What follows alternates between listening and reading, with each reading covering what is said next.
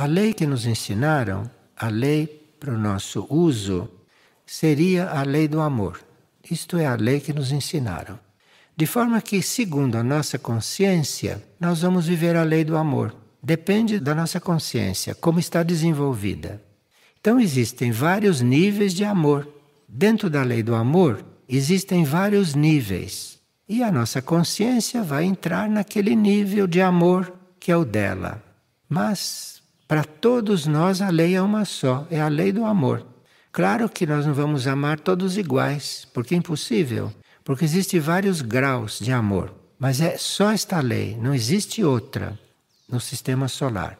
E quando você chega a viver o amor, você vai expandindo o seu amor. E quando você chega num certo grau de amor, você vai ficar conhecendo a sabedoria, que é o outro lado do amor, que é parte do amor.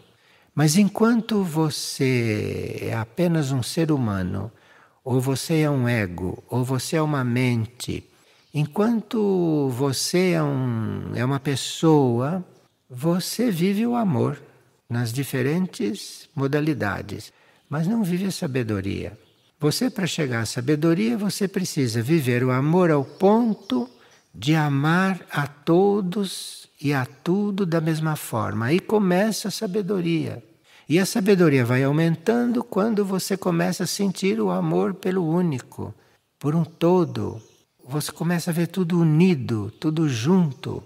E lá em cima, no mais alto grau de consciência, a maioria chama isso de amar a Deus. Você chame como quiser, o importante é que ame a essa coisa unida, esta coisa única, esta coisa única que existe.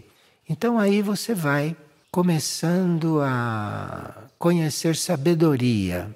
E aí você tem o amor vivido completamente amor-sabedoria, que é o segundo raio cósmico.